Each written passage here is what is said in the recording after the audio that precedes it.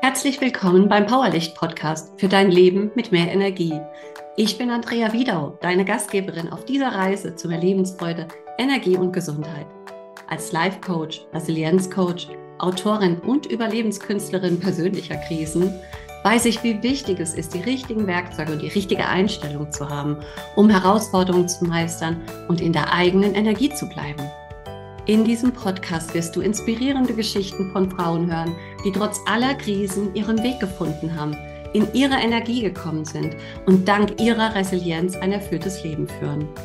Sie teilen ihre wertvollen Erkenntnisse, die sie auf ihrem Weg zur Resilienz gesammelt haben. Und natürlich werde ich auch meine eigenen Erfahrungen und Tipps mit dir teilen, damit auch du dein Leben mit mehr Energie und erfüllt führen kannst. Herzlich willkommen zur heutigen Powerlicht Podcast Folge. Es ist so schön, dass du wieder dabei bist. Und ja, es ist gerade eine herausfordernde Zeit und genau darum geht es heute in dieser Folge.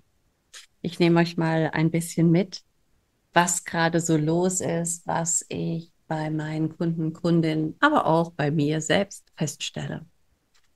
Im Moment ist es tatsächlich so, dass wir das Gefühl haben, und das hast du vielleicht auch, dass alles hinterfragt wird, dass es sehr, sehr turbulent ist, stürmisch ist, Themen hochkommen, an denen du vielleicht schon gearbeitet hast, wo du dachtest, die sind längst erledigt, oder auch neue Themen hochkommen, die dich verunsichern und wo du einfach merkst, puh, ähm, jetzt darf ich mir noch mal so gewisse Dinge anschauen. Es fühlt sich manchmal wie so ein bisschen ähm, im Auge des Sturms an oder wie in so einem ja, Wirbelwind. Ähm, und die Tage rinnen dahin und ähm, die Energie schwindet. Also du fühlst dich erschöpft, lustlos und die Freude fehlt dir vielleicht. Und die Folge heute, die teile ich bewusst, damit du weißt, damit bist du nicht alleine denn ich arbeite ja mit vielen Kunden und Kundinnen und genau da bekomme ich ja mit, was gerade los ist und ich selber bin da nicht außen vor. Auch bei mir kommen gerade noch mal alte Themen hoch, wo ich denke, hey krass, die habe ich mir doch schon ein paar Mal angeguckt, wieso jetzt wieder? Ja, und ähm, es ist aber so, dass wir jetzt noch im Moment so eine Zeitqualität haben, wo wir noch mal wirklich genau hingucken dürfen, was tut uns wirklich gut, welche Routinen tun uns gut, welche Menschen tun uns gut, was stärkt mich, was ähm, nährt mich in jeder Art und Weise? Und auf der anderen Seite eben wirklich zu gucken, was kostet Energie, wonach bin ich erschöpft, müde, ähm, ja, was frustriert mich, was verbittert mich? Und was bringt mich auch von mir selbst weg. Denn auch das ist im Moment sehr, ähm, ja, krass fühlbar, dieses immer wieder von außen weggerissen werden. Also Beispiel, du nimmst dir vor, du möchtest dich jetzt besser um dich kümmern, du möchtest auch mal alleine irgendwas Schönes machen, sei es mal in Ruhe ein Buch zu lesen, einen Kaffee oder irgendwas anderes zu trinken, mal ein bisschen Yoga zu machen und schwupps die Wups der Tag um. Und du kamst gar nicht dazu, weil von außen jeder etwas wollte. Und was passiert, wenn wir uns keine Zeit für uns nehmen wir entfernen uns von uns selbst. Wir fangen an, unseren wundervollen Körper nicht mehr wahrzunehmen und sind permanent in unserem Kopf. Und unser Kopf, der spielt alle möglichen Szenarien immer wieder durch, wie in einer Dauerschleife, ähm, damit wir an alles denken, damit wir sicher sind. Und es ist ja nur eine Fake-Sicherheit. Ne? Und deswegen geht es mir heute in der Folge mal drum, wirklich nochmal zu sagen, was sind die Dinge, die du jetzt tun kannst und solltest, das, was mit dir resoniert, damit du mehr bei dir selber bleibst und dich nicht vom Außen permanent wie so ein Flummi darum schießen lässt. Und es steht und fällt immer wieder damit an, dass wir in den Körper kommen. Und dazu gehört tatsächlich Bewegung wirklich immer wieder tägliche Bewegung, je nach Human Design Typ und ob man einen aktiven passiv oder passiven Körper hat, unterscheidet sich die Art der Bewegung natürlich nochmal. Der eine braucht ein bisschen mehr Bewegung und ähm, Der andere braucht ein bisschen weniger Bewegung, aber grundsätzlich alle Typen, egal ob passiv oder aktiver Körper, brauchen Bewegung. Und damit wir den Kör im Körper ankommen können, ist die Bewegung wichtig. Und da schau mal, welche Art der Bewegung macht dir Freude und die integriere. Das kann bei dem einen sein, dass er super gerne spazieren geht. Beim nächsten kann sein, dass er super gerne reiten geht. Der nächste klettert gerne, der nächste geht gerne auf Stand-up-Board und paddelt. Wieder die nächste oder der nächste joggt. Ähm, es ist ganz egal, welche Art der Bewegung es ist aber bitte Bewegung. Und danach fühl doch mal rein, wie geht's dir nach der Bewegung? Wie hast du dich vor der Bewegung gefühlt? Ich sage bewusst nicht Sport, sondern erstmal einfach Bewegung. Ähm, weil viele haben eine Abneigung zum Thema Sport. Das stelle ich auch immer wieder fest. Und was ist Sport? Sport ist Bewegung. Beim einen ist es mehr, beim anderen ist es weniger. Und auch da völlig wertfrei, ja. Also mal aufhören zu sagen, ja, ich muss aber regelmäßig walken gehen, damit mein Gewicht fällt. Oder ich muss, ich muss, ich muss, ich muss. Nee, du musst davon gar nichts. Du kannst und du darfst die Dinge tun. Die, die dir gut tun, wo du das Gefühl hast hinterher, es geht dir besser, du hast mehr Energie. Und mehr Energie heißt einfach, du fühlst dich kraftvoller. Die Aufgaben sind für dich leichter, die jetzt da sind. Und du bist mehr in so einem glücklicheren Zustand. Ja, dann ja, wir reden immer von der Energie, aber es heißt schlussendlich nichts anderes als du hast wirklich wieder Kraft, die Dinge zu tun, du fühlst dich gestärkt und tust die Dinge dann. Darum geht's bei der Bewegung. Und ähm, da ist mir wirklich wichtig, plan das fest ein und dann zieh es wirklich durch. Und wenn du es nicht einplanst, ist der Tag um und du sitzt da und sagst, puh, ich habe mich heute wieder nicht bewegt, ich mache es morgen. Und dann machst du es übermorgen und überübermorgen. Und wenn du es aber nicht einträgst, wirst du es immer wieder verschieben.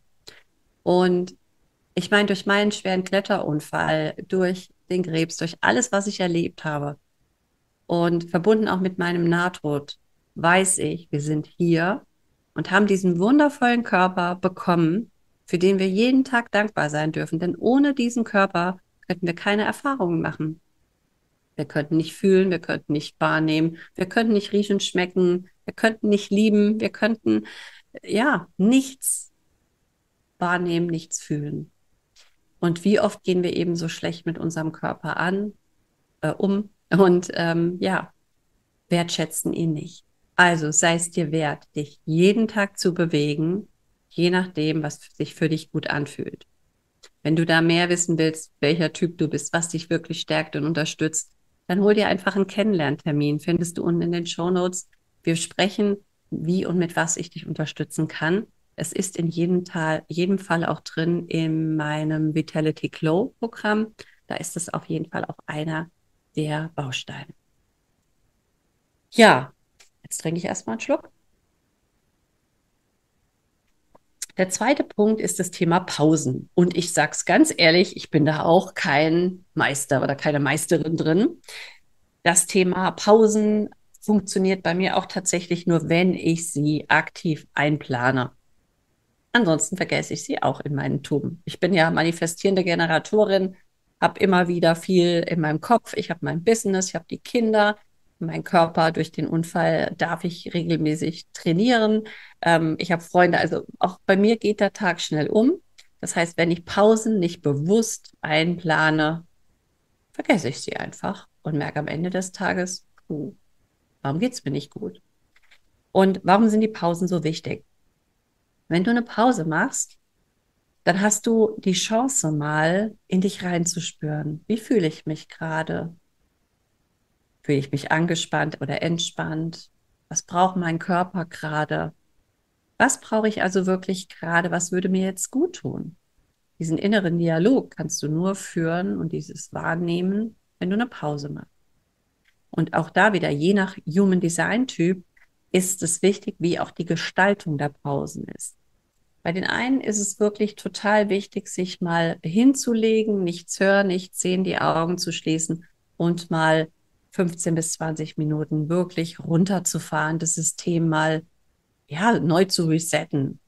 Und bei den anderen ist eine Pause eher, ich setze mich hin, ich lese was, vielleicht bewege ich mich auch, aber ich bin im Jetzt und schaue immer, was ich jetzt möchte, was ich jetzt brauche. Vielleicht ist es aber auch nur, dich einfach mal rauszusetzen und ähm, mal wahrzunehmen oder auch in die Natur zu gehen. Pausen können sehr unterschiedlich sein, aber Pausen sind wichtig, um mal bei dir wieder anzukommen. Im Prinzip mal das Hamsterrad einen Moment zu stoppen und dann zu gucken, was brauche ich, was will ich.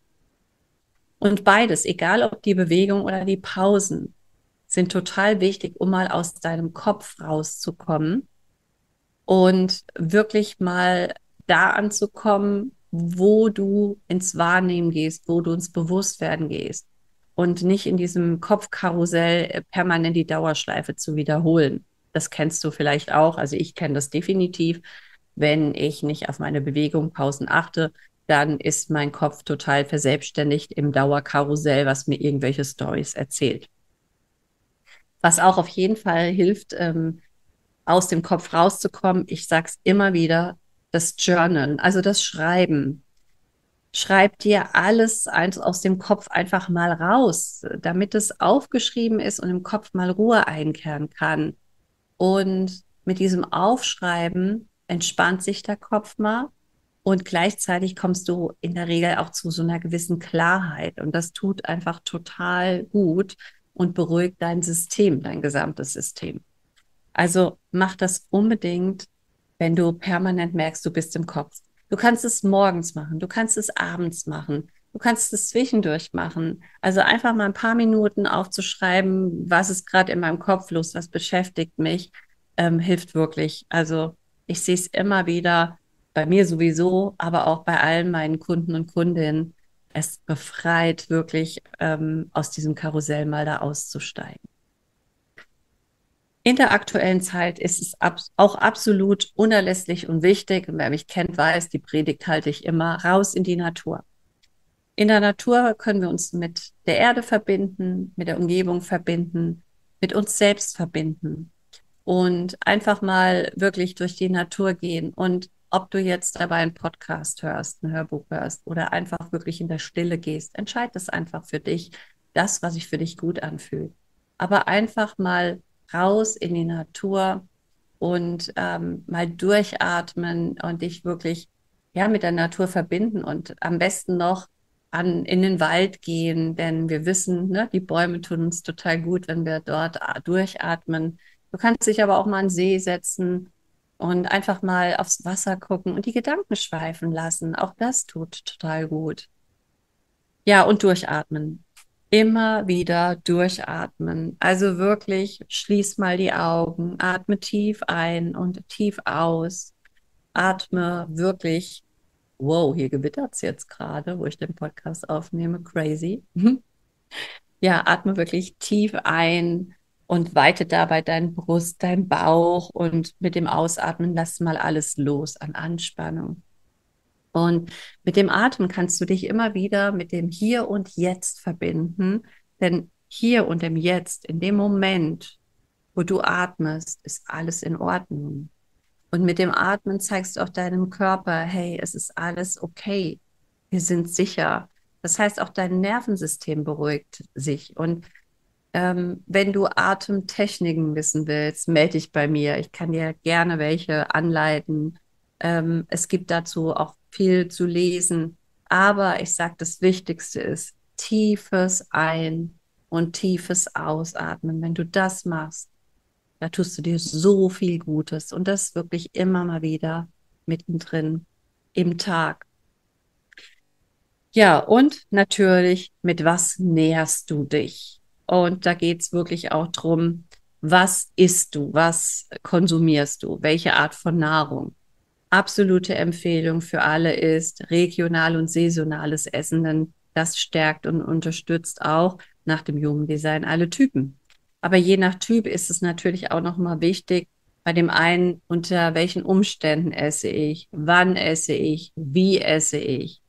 Und ähm, mir ist aber wichtig, im ersten Step, dass du wirklich mal bewusst schaust, was isst du, was schiebst du dir in den Mund, auf Deutsch gesagt, ähm, ist es etwas, was dir wirklich gut tut. Und ja, es kann mal ein Stück Schokolade sein, weil du jetzt gerade das Gefühl hast, du brauchst diese.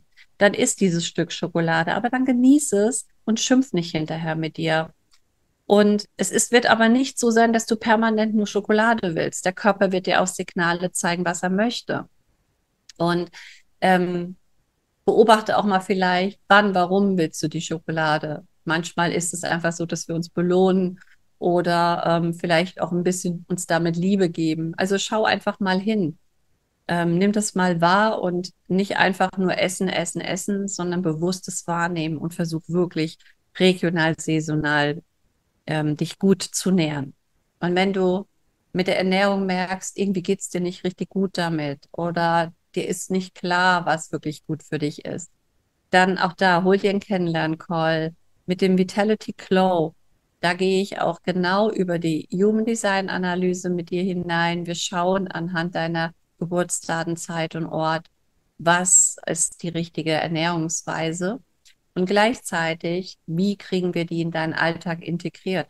Auch welche Glaubenssätze stecken da aber vielleicht bei dir beim Thema Essen? Ähm, all das sind die Punkte, die im Vitality Glow genauso wie Bewegung, Umgebung und vieles mehr mit drin ist die richtige Entscheidung zu treffen. Und ähm, den Link findest du auch in den Show Notes. Ähm, also ich kann es dir ans Herz legen, wenn du einfach immer merkst, irgendwie esse ich zwar schon regional, saisonal, aber so richtig geil geht es mir nach dem Essen nicht. Und da mal hinzugucken, dafür bin ich gerne da. Melde dich einfach. Ja, viele Menschen fühlen sich auch gerade aktuell alleine, einsam, ja, nicht zugehörig. Und was passiert? Früher, wenn wir eben nicht zu jemandem gehört haben, also nicht zu einer Gemeinschaft gehört haben, hieß das der unmittelbare Tod, weil es einfach früher keine Möglichkeit gab, ne, wenn man überlegt, in der früheren Zeit äh, alleine zu überleben, ähm, sich mit Essen zu versorgen, in Sicherheit zu sein. Das ist heute anders. Heute heißt es nicht der Tod, aber diese Urangst ist in uns verankert. Das heißt, mh, hm, schau mal hin, wo gibt es Menschen, die dir gut tun, die dich stärken und wo sind vielleicht Menschen, die dich schwächen oder auch nochmal Ängste, also ihre eigenen Ängste und Zweifel auf dich übertragen. Also geh mal genau hin und wenn es keine Gemeinschaft gibt, wo du sagst, die passt für dich, ja dann schau doch und bau eine neue Gemeinschaft auf. Guck, wo sind Menschen, die sich für ähnliche Themen interessieren. Menschen, die ähnliche Erfahrungen gemacht haben, Menschen, die sich einfach wie du auch ähm, vielleicht im Moment allein fühlen. Geh aktiv und schau, wo kannst du dich mit Menschen verbinden. Sei es über sportliche Aktivitäten, sei es über Interessen, Hobbys, die du hast, Malen, Kräuterkunde, ähm, ja, vielleicht auch die Liebe zum Wasser. Guck einfach mal, und geh den Schritt, dich wieder zu verbinden. Denn gerade zerbrechen auch wirklich viele Beziehungen und Freundschaften. Es sortiert sich neu. Und da, wo was geht, wird auch wieder was kommen. Aber die Zeit dazwischen, ich weiß, da fühlt man sich oft alleine. Und deswegen schaffe Verbindungen. Zum Thema Schlaf, wie wichtig der ist, ähm, hör dir unbedingt die Folge 16 nochmal an. Da habe ich sehr ausführlich zum Thema Schlaf gesprochen. Also wenn du nicht gut schläfst, hör in diese Folge mal rein. Und gerade heute, wo ich den Podcast aufnehme und auch jetzt nachher veröffentliche, hatten wir gestern unseren monatlichen Call zum Neumond. Und wir treffen uns mit einigen Frauen immer in einem Monat zum Neumond, im anderen zum Vollmond, um darüber zu sprechen, was ist gerade los. Und auch das ist eine Gemeinschaft, äh, wo wir uns gegenseitig stärken. Es geht dann nachher in die Verbindung auch direkt mit den Rauhnächten weiter. Und auch das sind Möglichkeiten, mal zu hören, ach, mir geht es gar nicht alleine so. Und das hilft zwar in dem Moment nicht, aber es beruhigt, ähm, indem du feststellst, mit mir ist alles okay. Auch andere fühlen sich gerade so, weil im Moment einfach die ja, Planeten so sind, die Energien so sind. Und ja, ich habe die, die Fähigkeit, viele Ausbildungen ähm, mir erlauben zu können, gemacht zu haben. viele Erfahrungen, eigene Erfahrungen zu haben, aber auch mit all den Menschen, die ich begleite und gleichzeitig eben total angebunden zu sein und Dinge wahrzunehmen oder zu erkennen, die nicht immer mit dem rationellen Verstand erklärbar sind.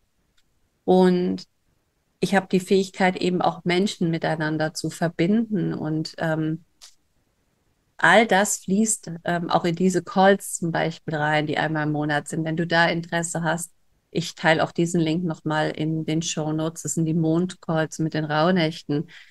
Ähm, also es gibt viele, viele Möglichkeiten, wie du für dich sorgen kannst, wie du für dich tun kannst. Die Tipps habe ich dir mitgegeben. Und wenn du aber merkst, puh, ich hänge hier und ich komme trotzdem nicht weiter, ich bräuchte mal so einen Perspektivwechsel, jemand, der von außen guckt, der mir den Rücken stärkt oder mich auch mal ähm, an der Hand nimmt, ja, dann melde dich, hol dir einfach einen Kennenlern-Call, lass uns mal reden und wir schauen. Oder vielleicht gibt es jemand in deinem Umfeld, wo du sagst, ja, da kann ich auch gut reden und mich mitteilen und es wird nicht bewertet. Und dann tu das. Also Kommunikation ist sehr, sehr, sehr wichtig und achte aber auch darauf, über was sprichst du. Denn das, über was du sprichst, das wird mehr. Also auch da bewusst hinschauen, was sprichst du den ganzen Tag, wie sprichst du, auch wie sprichst du über dich selbst. Und da einfach mal in die bewusste Wahrnehmung gehen. Ja, so, damit habe ich jetzt mal so das geteilt, ähm, was dich jetzt gerade stärkt, was dir ähm, Klarheit verschafft. Und ich wünsche dir viel Freude beim Umsetzen. Wenn du Fragen hast, melde dich. Wenn du Themen hast, schreib mir super gerne. Wenn dir mein Podcast gefällt, hilft, freue ich mich natürlich über eine 5-Sterne-Bewertung oder auch, dass du den Podcast weiterempfiehlst. Mir ist es wirklich ein Anliegen, ja, Menschen in ihre Kraft, in ihre Stärke zu bringen, dich näher mit dir selbst zu verbinden, damit du in deiner Mitte bist und dich nicht so von außen steuern lässt und damit so ins Straucheln kommst, sondern dass du wirklich in dir ruhst. Egal welcher Sturm gerade da draußen tobt, also hier ist gerade ein mega Unwetter, passt ja gerade zu dem, was ich gesagt habe. Also von Herzen alles Liebe, alles Gute und bis bald. Das war der Powerlicht Podcast. Danke, dass du heute dabei warst. Ich hoffe, du nimmst wertvolle Erkenntnisse und Tipps mit. Deine Energie ist der Schlüssel. Mehr Infos und Coaching-Angebote findest du auf www.power-licht.de. Wenn dir die Folge gefallen hat und dich inspiriert hat, freue ich mich über eine 5-Sterne-Bewertung. Herzlichen Dank für deine Wertschätzung und dass du mich dabei unterstützt, damit diese Inhalte noch mehr Menschen erreichen. Denk daran, Du hast die Kraft, dein Leben zu verändern und deine Lebensfreude zum Leuchten zu bringen. Bis zum nächsten Mal, deine Andrea.